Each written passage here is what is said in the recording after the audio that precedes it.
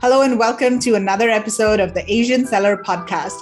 I'm your host, Meghla Bhardwaj, and today we're talking about SOPs for Amazon sellers.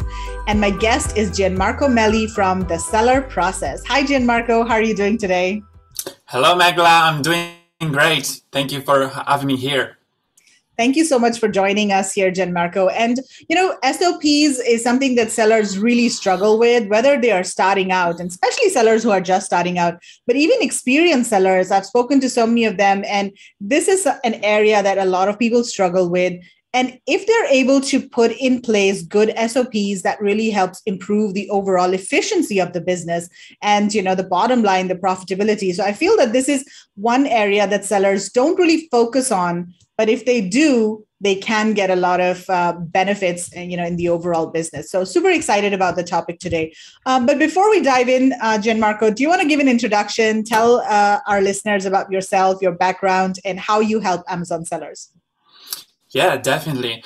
So, hi guys, I'm Gianmarco. I'm originally from Italy, and uh, but I I spent uh, the last uh, six years of my life in Shanghai, where I basically started uh, my e-commerce journey. I launched my first startup when I was uh, uh, 24, and I got um, backed up by an SO- SOSV, which is a um, like a, a, venture capitalist firm that it's uh, uh, backing, uh, help, helping uh, startups to grow in China. So that was my the beginning of my e-commerce journey, and from then on, I've been in love with this space. And uh, and then like four years ago, I started uh, selling on on Amazon by myself. obviously, sourcing products from China where I was and uh, the rest is history. Last year, uh, uh, sorry, sorry, actually this year, I launched this um, uh, the Seller Process podcast. The, it's it's my it's the podcast that I host where I discuss basic SOPs, systems, and processes, which is something that I got passionate about and something that I really um, uh, implement in my my business every every day. So I I try to do what I preach and uh, and help other Amazon sellers systematize their business and using SOPs in order to to create more operational efficiency in their business. So that's my story. yeah, and um, yeah, I mean, your, your, time in China must have been very adventurous. I used to live in China too. Um, really interesting time there. It is. It is. I really, I really suggest anyone to to have an experience there because really anything can happen. When I say anything, I really have crazy stories to to tell about that that period of my life. Yep. Likewise. okay, so let's start with the basics first. You know, what exactly are SOPs, and what are some of the benefits that Amazon sellers specifically have by implementing SOPs in their business? Sure. So SOP might be might seems like a, um, a, a, intimidating word. It just stands for uh, standard operating procedures. But what that really means is basically uh, the, the, way you do things, uh, it, either in written down or in a video form, and that is basically the the model of how things should be done. Okay, so that's the either uh, you can see it as the easiest path or the most efficient way to do something. Okay, so instead of having everything in your mind and just uh, do every day whatever you, you, are doing in your business, all the tasks that you're performing, you're actually writing that down or putting in, in a, into a video. We will see actually in a moment several different types of, of SOPs, but essentially uh, you you transfer your knowledge out of your head and put them into into a, a, structured form so that you can use the same the same system the same process the same the same steps every time over and over in order basically to to create consistency of results and and th- there there are so many there are so many benefits. One of the one of the mm, main benefit that i like to to mention is that it produces residual results. What does that mean? So a resi- residual result results are when you put effort once and you get results over and over. Whether linear results are when you put the effort once and you just get results once. Okay, so uh, whenever you do something, but you, you don't record that, you, you just do it the way it comes out from like that day, the way you're feeling that day. Or every time you you perform something that requires your your specific input that's linear result. And that's kind of a it's not really the best way to to spend your time. And we know the time is the most valuable thing. And in uh, talking about sops it's really one of the main concepts you know operational efficiency. So being efficient with your time and your resources. So sops what they do is to create residual results. So so you you create the system once you uh, uh, outline step by step what the what the task uh, how the task should be done.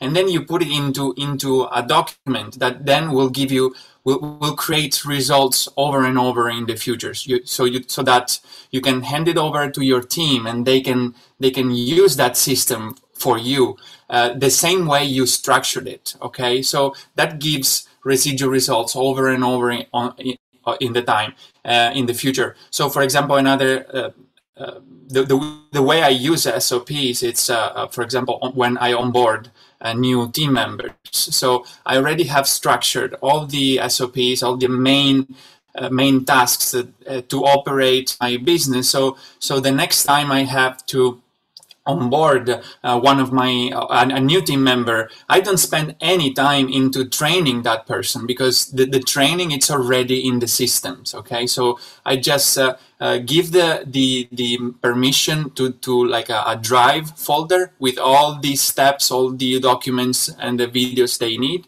and they just go train themselves. And after one or two days they come back and they are ready to to go. So this is this this is just one of the uh, of the benefits. There are several others, like for example, freeing up your your mind from um, um, from the the like daily tasks, so that you don't have to put like mental energy on on performing those tasks. You can free up that time. You do it like just following the, the checklist or whatever it is, your your SOP, and uh, and and just uh, put that mental energy into more creative tasks okay? So so this systematization of business sometimes it's it's uh, um, misunderstood because people think that uh, it, it, kills creativity. Like standardizing things kills creativity. I'm going i'm telling you actually it's the opposite because you free up your mind of this like easy daily tasks that you normally put your mental energy because you have to focus on what's the next step how to do it.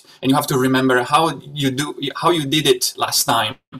But now you have it everything written there, there is a structured process. So you can you can do that on autopilot okay? Just do it uh, uh following the process so that you can you can uh, switch your mental energy into more creative tasks. That's that's really uh, can be a game changer kind of a um, uh, mindset and habit for, for your business.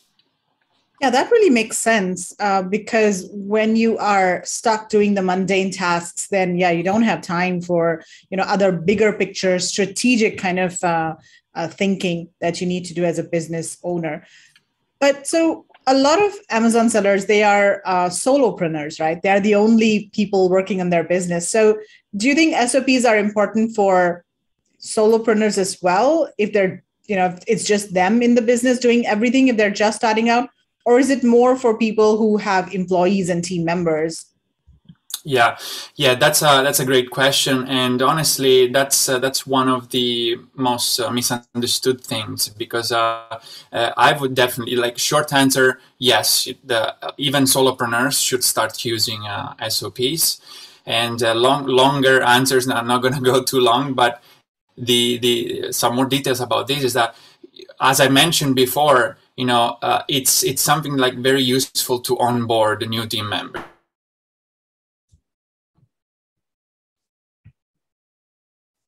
some people in your team. Uh, so, so if you start uh, structuring your, business now and creating SOPs, it will that process of shifting to new team members it will be much much easier. And also, also as we as we mentioned before, it's not just a matter of transferring knowledge to other other people. It's it's also to to set knowledge uh, in a standardized way so that you uh, you you uh, can repeat the same process over and over okay? So uh, you, basically this way you will have consistent outcomes. So that's that's what we're really looking for. The sops enable you to have consistent consistent outcomes okay? So instead of doing one day one thing and the other day uh, the, the, same thing um, uh, try, trying to do uh, similar things um, that can can lead to different results you know? You this way you you set what are these steps so that you can have consistent results over time. So for example let's say you're you're doing some ppc optimization and, and you you really you're really that day feel great and you, you find out new ways or you, you figure out a, a new way to do something. And if, if you're if you're not following a, a, structure, a process, if you're not writing down what you're doing, uh, basically you're gonna probably lose that that process that you you just created, you invented maybe, and, and next time you, you have to figure out again how you did last time. So it's not a matter of just uh, cooperation with other people. Definitely, it's it's it's a must to have if you have a team because otherwise it, it really gets too, too messy. But even to organize yourself better and to and to keep consistent results, that's that's really um, uh, the benefit of that solopreneurs can have into using SOPs. Okay, that makes sense. So, what are some different types of SOPs that Amazon sellers can consider creating for their business? Yeah, so uh, there are several different types. Uh, um, I can mention a a few of them that are the, the, the, main ones that I use. So uh, you can create SOPs in a written form, uh, aided by images. Okay, so this is great for step-by-step processes that have only one possible outcome. So for example, um, creating a shipping plan. Okay, so that's just just step by step. You number each step, what to do, one after the other. Maybe helped by screenshots, so the person can understand uh, what what's the, the, the process where they have to click. Uh, so it gives a, like, like a visual understanding. So um, that's that's uh, that's uh, that's the easiest way to create an SOP. So writing text uh, steps and uh, and helped by screenshots. Uh, the other the, the best actually way to create a, a um, an SOP it's by video. So most of the time the, the video the video SOPs are great whenever you are using your your PC uh, or, or a tool uh, or a software to to run the, the the process. And for Amazon sellers, probably like 95% of processes are run into a computer using a tool.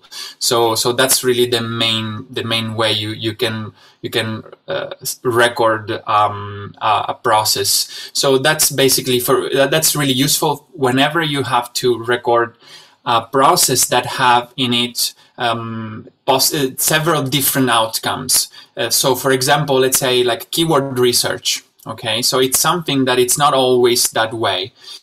Uh, it change it change case by case. Okay, so every time it it's it can be different depending on on the product search form. So so during a video, you can basically show the person for example, you, you walking through the keyword research on on uh, on Helium 10 and explain your thought process. Okay, you explain the mindset that you are.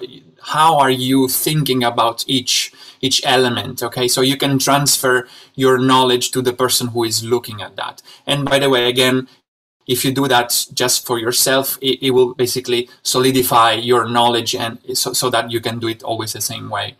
Then uh, there are there are flowcharts so for uh, I'm sure you're familiar with those flowcharts like like squares uh, followed by by circles and so on. So these these are these are some um, these are useful whenever there are like binary options. So if this happened, then do that. If this other thing happened, then do something else. Okay. So for example example, PPC optimization, it's a, it's a, it's a good fit for this kind of uh, flowcharts because, um, for example, whenever uh, the if the the bid it's overspending, you do something. If the if the uh, uh if the keyword it's not uh, uh, having enough impressions, for example, you do something else okay so so there are different different uh, tasks depending on the situation okay so you use a flowchart to visually represent all these these binary options during the PPC optimization, for example. And then uh, the the other other two ways are the process map. So it's very similar to a flowchart, but it's more like a high view of one big process. So for example, I use it for uh, let's say to representing the whole uh, product development phase. Okay, so I I, I show um, like the, the first phase is the research, the second phase is the validation, then contacting supplier, uh, uh, getting samples, and so on. So these are like a high view of the whole whole process. It helps you to to strategize. Okay, so so SOPs are meant to basically uh, put yourself more into the position of the CEO instead of the employee. Okay, so right now most of us are like employees of our own business. Okay, so we would like to become more like a CEO, so working in more like strategic tasks and uh, and hand over the other to, to to the team members. So so the process map helps you do that. And Lastly is the checklist. So checklists are super useful, used by uh, pilots uh, in, in the airplanes. And so that's that's really uh, a way to basically make sure that every step on of, of the of the list it's done, and it doesn't matter really uh, the order of those steps. As long as you check all the points, you you you are fine with that so for example like uh, whenever i use it whenever i launch a new product there are several actions that you need to do when you launch a new product like uploading images and setting up vine and uh, uh, tracking the keywords on helium 10 and so on so all these things are, are different like checks that you need to need to uh, check in order to, to remember like the, the all the tasks that needs to be performed in, inside the, the SOP. So these are like um, five different types of SOPs that you guys can use in your business. Depending on the type of process, there is a different match for that. Wow, that's uh, pretty interesting. I had not thought about SOPs in such detail and that there could be i mean of course we know that there are so many different ways of you know presenting information but yeah it's very interesting to see how different types of sops are suitable for different kinds of situations so, do you have any tips for sellers on how to create SOPs? Like, how do they go about creating SOPs if they have, um, you know, specific tasks in mind?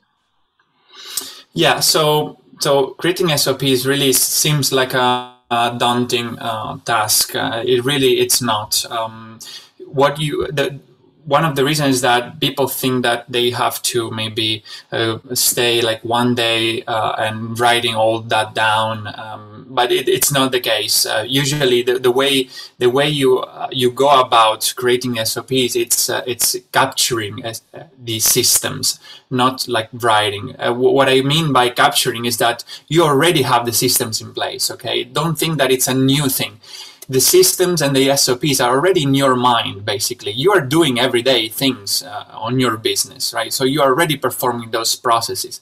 The, the only problem is that you have those steps, uh, those checklists, those, those flowcharts, you have it in your mind, okay? So you just need to capture those steps. So, so for example, an experiment I can give you, like you can do it right after you, you uh, listen to this podcast. You can just uh, uh, uh, set see what what you have to do today okay? And then uh, for example let's say you're you're going to do some like keyword research. Okay great. So start so um, you, you can download a, a, tool that is called Screencast-O-Matic or you can use loom several tools that uh, allows you to to record your screen okay? So just uh, start recording your screen and uh, and perform that task while you are you are commenting it okay? So just say whatever you are doing in the moment you are actually doing it.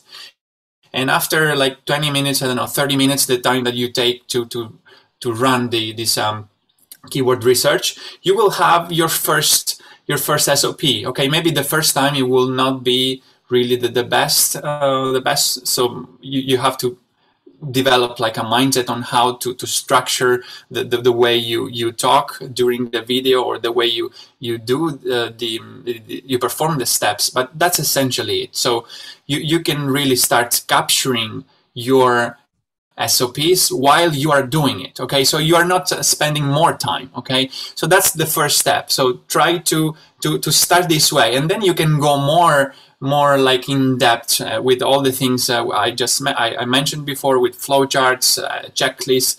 But you can really start by uh, collecting SOPs this way.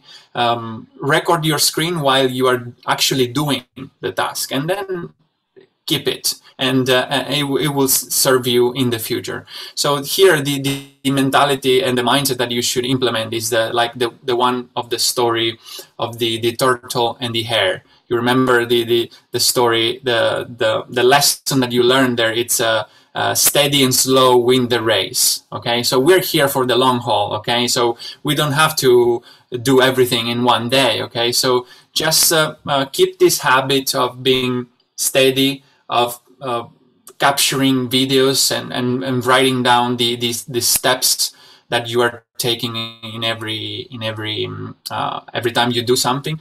Um, let, us say just two two three three times a week okay? Just build this habit. And it, it will go over for forever almost. Uh, but I, I can assure you like after two three months you will have like 80 90 percent of your sops written down if you use this method okay? So in the time you are actually performing it, just record a video or or write that down the SOP, the, the steps, and then you can go further with uh, uh, improving those. Yeah, so that's uh, that's yeah. that's my way. Hmm. That totally makes sense. And uh, for everyone listening or watching on YouTube, we also have an ebook that Gianmarco has shared with us. So if you go to theasianseller.com, um, search for Gianmarco over there, and uh, you'll come to the um, landing page of this podcast and you, will be able to download uh, the PDF. If you're watching on YouTube, look in the description of this video and you'll be able to find um, the downloadable ebook as well. So, very useful content in the ebook too. So, what about the structure of an SOP and uh, you know what does it look like and what are the different steps? I mean, one of the things that you know sometimes i worry about is when i'm creating processes for the team am i being too detailed? And how much detail should go into the sop and is there something that mm-hmm. can be excluded or you know yeah so what is the overall structure? Mm-hmm. yeah yeah right. So that's a good question. So i can give you like uh, the the sample structure that i use in, for the sops that i use and then um, and then um, we, we can comment also like what when when you can go um, and exclude some of these uh, steps in the structure. So the main structure it's made uh, out of seven points. Okay, so the, the first uh, the, the first line of your SOPs is the SOP number and the SOP name. Okay, you should number your SOPs because it, it will be just easier to find them. Okay, usually the first number of the SOP, it's it's the the department number. So uh, you should have uh, a division of the of the departments in your in your company. Like for example, uh, department one, it's in inventory and logistics. Department two, it's marketing and ads. So so you divide SOPs by departments. Okay, so even if you're a solopreneur, you still have departments. You you yeah. just don't realize it, but everybody has, right? Uh, so, for example, SOP 1.2 for me means it's a, it's the SOP that belongs to department one and is the second SOP. Okay, and then I have uh, every every SOP is numbered that way. Okay, so that's the, the name of the SOP. Then you, you start writing like why it is important. Okay, just one line to to say what is important. This is this is especially important when you when you actually outsource the, the SOPs to, to somebody else because they they might not know what's in your mind. So uh, people really uh, um, it's it's better for people to actually know and be aware of why the, the task they are performing it's it's how, how it is impacting the the overall business okay? So that that's that's important to make it uh, people aware that what they're doing is important. Then the point number three is that you put the estimated time required okay? So you do it yourself the first time and you you, you time yourself in order to, to understand a ballpark. Okay, you don't have to precise. So you just say estimated time required 30 to 45 minutes. Okay, so that's that's another like ballpark to to to give a better understanding of how uh, how how long the this SOP should take. Then the fourth point, the fourth point is the um, uh, resources needed. Okay, this this is very important because in order to perform every task, you will need to have like some tools, some software. You maybe need to download something. You maybe need some login credentials. You maybe need to have like a Chrome extension. So so you have to you have to list that in order so to, to be to be very easily transferable. Okay, so whenever the next time you're going to transfer this task, it's written there what people need to download, what what kind of uh, software they need, and what kind of login credentials they need, and you should provide those person with uh, with the login credential.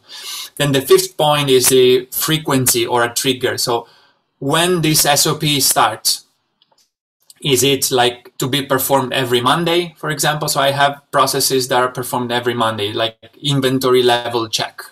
Uh, every Monday, we know that um, we, we should check our inventory levels and, and see whether uh, we should order more or we should do any any transfer of inventory. Uh, or the trigger if, if it's not like a periodical type of task there is there is still a trigger. So when this is triggered for example whenever um, a new product it's confirmed it, it starts the trigger of ordering the um, uh, sorry like uh, start producing the designs the graphic designs of the of the, the, the images that will go into the listing. So that's the trigger.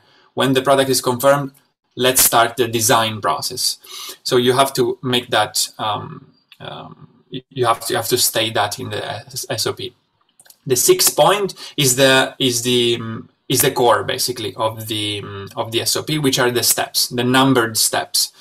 So you still use the same num- SOP number that I, I said before, but you just add one more number that is the, the step number. Okay, so I'll give you an example. Um, before we said uh, SOP 1.2. Okay, so department one, SOP two, and then we start the, the steps. So step one, step two, step three. So so it's that's gonna look like uh, step 1.2.1 then there is the step 1.2.2 and so on okay so if you if you really go into these details you're gonna be like super super in charge of of that task because then you can start analyze step by step and you can really improve each step or even delete one step if that's not uh, it's not not, uh, not necessary. And you can you know also why is this useful? Because you can refer very easily to each step. So so next time you you can tell to to your uh, to your designer uh, you say for example oh i noticed that uh, you skipped uh, step 1.2.4 uh, is th- there was any problem with that? I mean let's let's talk let's find solutions. So you can refer very easily to each step okay?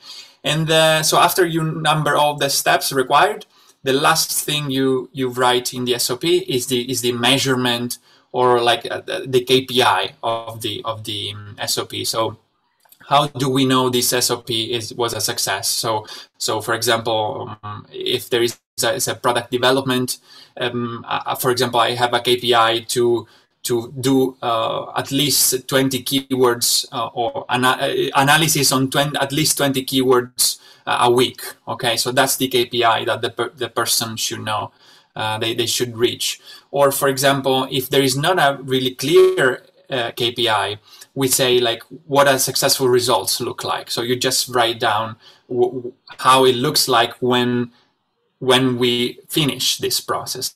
So, for example, um, when placing an order, the, the, the, SOP to place an order, the successful result is that you get an invoice and that the, the deposit payment is done. Okay, so there is no KPI there. You just say this is the this is the successful result that we are aiming to to get. Okay, so these are the seven steps. So, um, in some cases, you can can skip some of this. Uh, I would say, like uh, it's um, the, the the more the more precise and the more detailed you are, the better it is. But also, it's a, it's a balance. Okay, so you should not spend countless hours into writing these SOPs. Okay, so um, good enough. It's good enough in in this in this case. Okay, so so remember that it's a it's an iterative process. So you are going to keep updating and updating every time your your SOP. So so just uh, mm, it, it's it's better that you have at least one structure and then you keep improving it in the future. And and one interesting way to improve this SOP is that you just put the, the bare minimum uh, of this SOP in place there. And then whenever you get some questions from your team, they say, oh, I didn't see this in the SOP. How should I do this? Okay, great. Now it's time to put that question into the answer to that question into the SOP. Okay. So over time, basically, you will not get anybody ask you any questions. So they will not uh, bother you anymore because everything is written in the SOP. So that's your, your goal, basically cover every possible scenario and, and questions in the SOP so that you can do your CEO job and let other people uh, do, do the, the task that you, you, you gave them to do that totally makes sense. And i can already think of ways of you know how processes in my own businesses can be improved by uh, having sops and i do have sops for certain tasks but i think there's a lot more that we can do to um, define all of the different steps that are needed for even the smallest of tasks. So um, what are some of the tools that you use to generate and collect sops Mm-hmm. Yeah, so these are very common tools. Most of them are free, so that's that's uh, great news. So in order to generate to generate video SOPs, for example, I use uh, Screencast-O-Matic.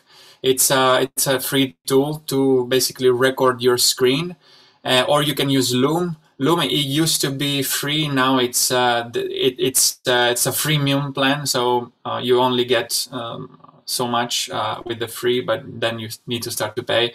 Or Vimeo, Vimeo it's a paid uh, plan, but it's it's it's great. You you really really have great quality recordings. So these are to record videos uh, to make like checklists uh, or or um, to make checklists. I use Asana. It's it's a project management tool. You can also use like Google Sheets, Google Docs, Google Slides, all the all the um, like Office product uh, from Microsoft or all the Google uh, Google uh, tools. And in order to make flowcharts, I use Lucidchart or Canva. Even Canva, I, I, guess, like most people know Canva, it's very useful. it's very easy to use so you can generate very nice nice graphics uh, with flowcharts and in order to collect all these uh, sops i simply put them in, in a drive folder or in on or on Dropbox. And the video I use um, YouTube most of the time, but make sure, guys, you you put the the the video as uh, as private, not not publicly listed. Otherwise, you're gonna gonna share with the world your internal SOPs, which you don't want. Right, so as simple as that, and make sure in your Google Drive or Dropbox you divide the SOPs with departments. And you can find like a, an easy structure of my suggested department in, in the ebook that Meghla just mentioned before. You can see like how you could uh, divide your folders in your Google Drive um, main folders in order to, to easily collect all the SOPs. That's great advice. And um, do you have any um, best practices for running SOPs? Yeah, definitely. So I can give um, a couple of tips. So uh, the first one is that you should always assign a responsible person for to, to each SOP. Okay, so so there is al- always just one person. Okay, so because otherwise you you run with uh, step on each other's feet. Okay, so make sure that that person is is the responsible one. So so basically, every time there is a change on the SOP, so things keep changing on Amazon, keep uh, developing. So every change on the sop should be managed by the responsible person. Okay, and every time there is like one more question, whenever we find the whole team finds that there there is um there is one question that is not answered in the SOPs, that person is the one responsible to update it. So you see how after you you have you start having a, even a small team, even just you and, and a VA, you start hand them over these these responsibilities to others. So so this process, this daunting process of creating SOPs, it's not so much daunting anymore because there is this responsible person who is actually updating the, the processes for you. Okay. Okay, so every time she, for example, your VA asks you a question, you answer the question and say, great, now update the SOP because so the person that will come next after you will know that answer. You don't need to ask me or, or anybody else right? So that's the number one thing. The the, the second tip is to is to um, to number as i said before the the sops um, in order that you can actually create an sop database okay so th- that's that's really important because uh, at the beginning you can manage easily to, to find all the SOPs, but after a while, I mean, I, I got I reached a point in which I have maybe like 60 SOPs, 70. So so it becomes like really hard to find at some point, you know. So I created an SOP database. It's simply like an Excel file with in which you, you write the SOP number, the department, the responsible person that I just mentioned, the SOP link, so so the actual link to, to the to the document in the, in his, his own folder, and the, the tools and accesses uh, that are needed, logins that are needed for that SOP. So so in one glance, you have all your SOPs there divided by departments divided by responsible person. So so you can really do your ceo job of structuring better your business systematizing it, and uh, you know really making sure that every every aspect of your business is covered by by a proper sop that every every process it's um, it's actually updated. And actually I, I forgot to mention another column in this in this excel file. It should be like the last update so you you you write the the date when it was last updated, uh, so that you know how recent that SOP it is. So that's that. Already having this kind of uh, the SOP database will allow you to really reach new heights in your in your uh, SOP game, and uh, basically, yeah, it will, will really help you to to improve each uh, each process uh, and go like very deep in, in each in each system that you're developing. Yeah that is absolutely fascinating. And i really like the system of numbering the sops because that can just make it so much easier especially if you're referring to um, a specific uh, step in the sop and um, yeah because i can you know myself with my team i have to take screenshots and say hey you didn't do this portion of the of the sop uh, but yeah if it's numbered then you can very easily just uh, refer them to the number. So that is very very uh, a good tip over there. And what are some common mistakes that you see people making yeah, so a uh, common mistake is the one that we, you know, people just uh, set and forget it. So they just they think that they create the process once and it's forever. Um, it will serve them forever. I mean, in part, it's true that the main structure will keep staying, but you know, SOPs and systems in your in your company are continuously continuously developing. Okay, so you are always working on your current company and in your future company okay? So you have to have this mindset of um, having things set up for for today and for like the, the short term future but also for for the long term future. So so you, you have to make sure that uh, every every time you know uh, you, you question every time that you run that uh, that sop if it's really updated if can be if it actually can be uh, improved. And that's actually another of the of the advantages or benefits of having sops it's that instead of having all these complex systems in your mind you have written down so that one by one you can really check if there is anything that can be improved. Instead of thinking unconsciously that that's the way to do things actually question yourself. So this is this is a common mistake that people do uh, is that they they maybe think that that's that's the way it is and uh, that's that's how things are done. But you should question all the time like is this step necessary? Because it might save lots of time if you if, if, if you're if you're deleting eliminating one of unnecessary step so always be questioning your systems always think that there is a way to improve your systems okay so that that's a, that's another tip and uh, the, another um, another mistake that i see people making is that um, they they uh, they think that yeah like they need to be uh, they need to have a team basically in order to to have SOPs. But that's not true, as we as we said. Uh, you you you can benefit of having SOPs and systems really uh, from day one. Uh, being just a solopreneur, you can really benefit of structuring structuring your business better, especially now. Really, that we're we're discussing this many times with uh, like um, the the advent of these new um, aggregators and buyers. You know, these people have uh, big teams, a lot of money, and uh, they they have great systems uh, in place. So, how are you going to compete in the future if you are not organized?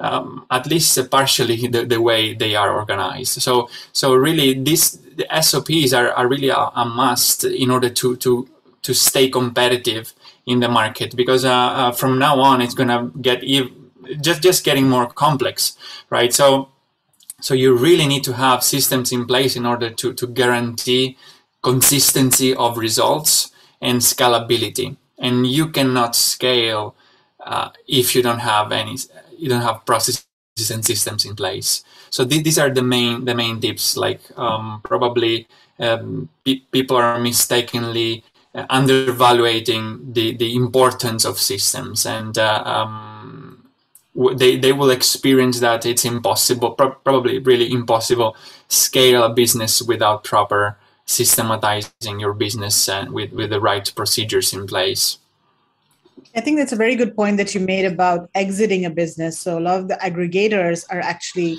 looking for businesses that are well optimized, that are efficient, and um, you know what better way to make the whole business efficient than having great sops and systems in place and um, if you are you know getting ready to sell your business then it's easier to just transfer everything to the to the aggregator if you have all of these. And i think that overall increases the value of the company as well because they have to you know invest less time and effort understanding the business and taking over so yeah, really good points there, Jim. Yeah. Mm. Yeah, absolutely. Actually, if I can add something to that, uh, you know, I can tell you in my experience, for example, like last year, I spoke with several brokers because I was looking to sell my business. And uh, so, you know, the, the aggregators are becoming very famous, right? So they are buying lots of businesses, but actually, you know, they are the ones who pay less, you know, the aggregators are the one who actually put up out the money. So they want to pay us less as little as possible to, for your business. But, but on the other on the other hand, you know there are there are like private buyers. They, they they are willing to pay even more if there is a good fit with your brand. Okay, so an insight that I got from one of the broker uh, that I was talking with eh, was that um, they value much much more businesses that have very ordered, structured, and very good SOPs because basically, you know, these people don't want to buy a job. You know, they don't want to buy your business and, and start working in it. You know, they want to have like a very like well-oiled machine that runs like clockwork. Okay, so if you build up that clockwork machine, that that well-oiled machine in your business right now, that's gonna really uh, potentially improve the value of your business exponentially you know? Uh, in, in in selling a business you know even like a 0.2 0.3x uh, multiple uh, addition you know thanks to this these improvements it can it can be like several hundred thousand dollars you know? So so it's really like a super valuable um, thing that you do and work that you do in your business in order to scale it uh, while you you are working on it. And this way you're you're making it a more desirable business. So if it's a desirable business it, it's worth more you know it's as simple as that. So so really sops help you even increase the value of your business eventually. Yeah that totally makes sense Wow, Gianmarco. So this has been really awesome. Um, so many good tips and advice. And I have learned quite a bit for my own business as well. And I just want to remind everyone that uh, Gianmarco is also giving away a free ebook to everybody. So if you go to theasianseller.com, search for Gianmarco and uh, go to the podcast landing page, and you'll be able to download the ebook. If you're watching on YouTube, look on the description below and you'll be able to download the PDF from there.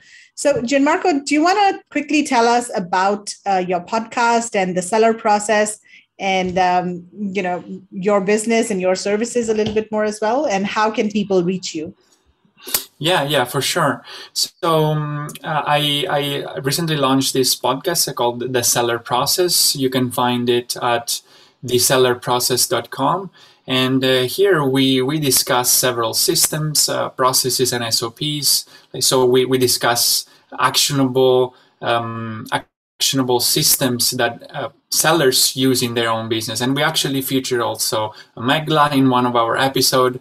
So we were talking about supplying, how to find suppliers in India. So so we always speak one very specific topic and we go deep into the step-by-step process okay so in order to create like a chit chat free uh, episode uh, we we really dive deep into into the specifics of the of the of the processes. So you can find that at uh, the website the, thesellerprocess.com. We're also on YouTube, and uh, you can find us on Facebook, LinkedIn. If you would like to connect with me directly, also I'm I'm really happy to do that. You can find me on LinkedIn. Uh, uh, with uh, my searching my name, Gianmarco Meli, and uh, yeah, feel free to to reach out and um, and and check out the the podcast. Absolutely, and uh, we'll also include links to um, the podcast, the website, and also your LinkedIn in the show notes uh, on the AsianSeller.com. So, uh, Marco, thank you so much for joining me on the podcast. It was absolutely amazing, a lot of learning. I'm sure people will really uh, appreciate this uh, the whole idea of creating SOPs, and uh, it will definitely be beneficial to a lot of sellers. So, thank you very much for your time today. Thank you, Meghla. All right, take care. Bye.